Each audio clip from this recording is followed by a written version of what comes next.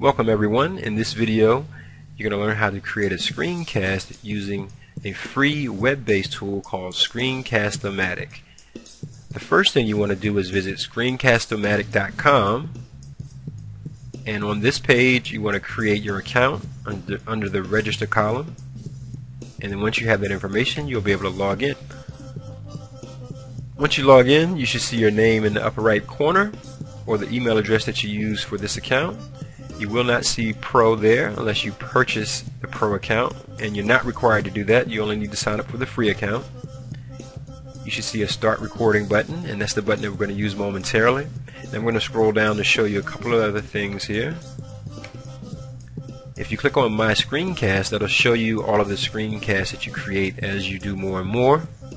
Here you'll get some demo videos to show you how to do certain things inside of Screencast-O-Matic. In the next section you'll see examples of teachers using Screencast-O-Matic. In this first one you'll see a teacher using Geometry Sketchpad to teach the law of sines. You'll also see student examples and some how-to videos. I'll scroll down a little further and you'll see the difference between the free and a pro account and you'll be able to do quite a few things with the free account.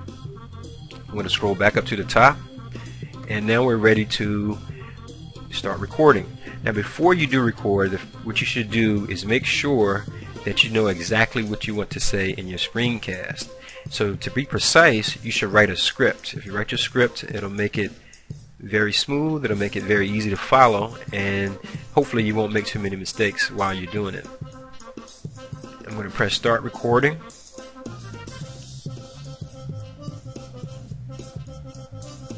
And once it's finished checking the machine to make sure it's ready to record. You'll, you'll see this message and you'll see a recording area here. I'm going to minimize this web browser so you can see here these dotted lines. If you hover the mouse over it and then hold down you'll be able to move the recording area.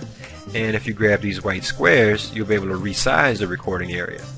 And you may need to do this just to fit around whatever you may need to record so at this point, you can open up a Word document, you can open up PowerPoint, you can open up pictures, you can open up software, you can open up um, Firefox, you can open up Google Chrome, you can open up any anything that you want to record, you can open up here, and as long as it appears in this window, it's going to record your mouse and your voice along with it and the screen. So if you look at the bottom left, you'll see a few things down here that we can make some adjustments to if necessary. The first one you want to check is the microphone. You want to click this arrow. Make sure that you see USB audio device and you see the black dot beside it. That'll let you know that you, your USB audio device is being used for the recording. Here you can select a particular size if you didn't want to resize manually. If you have a webcam and you want to record with that, you can select here. And if you wanted to close this, you just hit the X. Over to the left is our record button and that's what we want to press when we're ready to record. Once I press this button you're going to see a countdown and at the end of the countdown is when you would start to record your narration. So I'm going to press that red button and here's the countdown and now it's recording the screen and it's recording everything I do with the mouse and it'll record whatever you open and fits inside of that particular recording area if you make a mistake in the beginning or at any point, you can always select restart and you'll get a little dialog box here and I ask you are you sure you want to do that? And if you're sure you'll press restart and it'll come back to the original screen where we started and to give you those few directions again. And when you're ready you go back to that red button and you press record again. And now you're recording again once you've gone through your screencast and you get to the end of it, then you're ready to stop recording. So you want to go back down to this menu, you want to select done. And it's going to take you back into Screencast-O-Matic. So you shouldn't close that browser. Notice I only minimized my web browser. So it's going to take me back into Screencast-O-Matic. And now you can play your recording to make sure it's exactly what you want. And once you're satisfied you'll be able to come over to the right and you have a few upload options If you select upload to SOM, it's going to take it to Screencast-O-Matic. It's going to give you a URL that you can use to link onto your wiki space. You can also upload to YouTube. Again, you can get a link for that, and you can get an embed code. We'll select upload to SOM. It's going to ask for a title, and you want to type something relevant to what you were doing.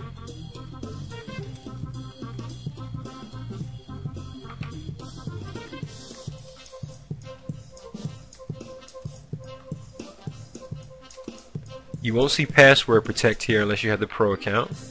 The language should be automatically set to English. If it's not, you can click the drop down to set that. You can add notes and captions. And all this stuff you can leave checked. And at the bottom you'll see upload to SOM. Now once you select this, and I'll drag this over so you can see it a little clearer. Once you select upload to SOM, it'll begin the encoding process and you'll see that appear right here. You'll see the title that you typed in and depending on how long you make your screencast it, that'll determine how long this process takes. And once that's finished, here's the URL that you'll be able to use to link on your wiki space with your assignment. You can also upload it to YouTube. So if I select this, it kept the information that I had when I uploaded to SOM. Here you can give it a tag and if you were doing math you would just type math or whatever it is you were doing. You just type that as a tag so it's easier to find. For category you can select education if that fits. You can make it private so that no one can find it on YouTube except you and the people you share it with. And you'll need to know your username and password for your YouTube account if you have one.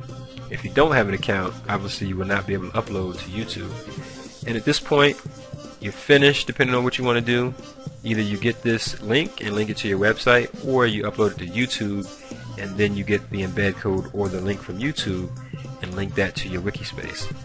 So if you have any questions, please let me know.